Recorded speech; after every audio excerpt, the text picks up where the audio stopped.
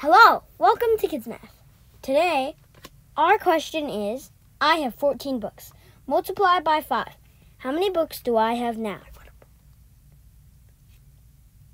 So, in order to do this question, we need to multiply 14 by 5 because we have 14 books in the beginning and we have to multiply by 5, obviously. So, 5 times 14.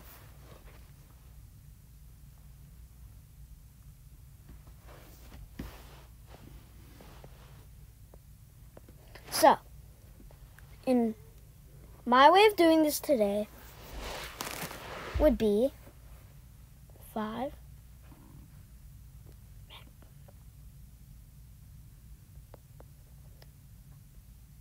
14 times 5. So, 4 times 5 is 20. So we put a 0 here and a 2 over here. 5 times 1 is 5. So we add 5 plus 2. Now, that would be 7. So, our, our answer today would be 7, 70.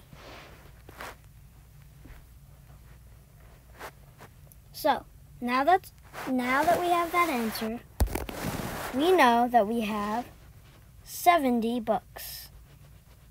Thanks for watching. Please leave a like and subscribe below and make sure to turn on your notifications to be notified when we post a new video.